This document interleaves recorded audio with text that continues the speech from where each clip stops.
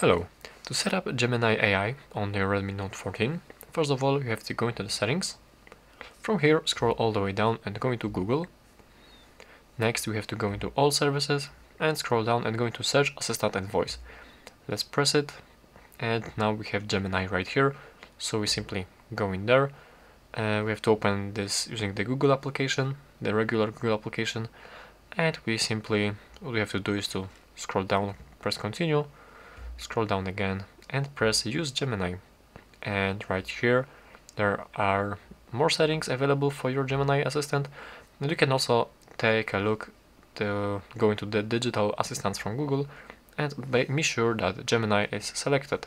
Because otherwise as you have the Google Assistant selected you will simply switch to the Google Assistant and you will use Google Assistant as you can see. Obviously you have to allow the permissions for our assistants but yeah be sure to have this. Let me just show you. Uh, be sure to use to have selected the Google the Gemini AI right there. And right now as you enable this um, this Gemini this, Google Home can add yeah as you can see this Gemini AI is right now available and that's basically how to set it up. Very simple. Thank you for watching